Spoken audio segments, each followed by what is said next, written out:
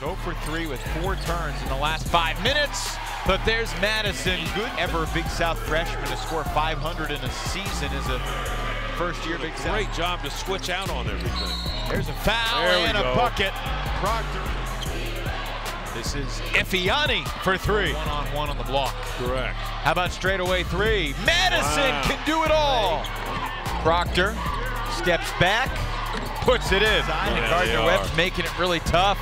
Nate Johnson, stick back up and in. DJ Laster.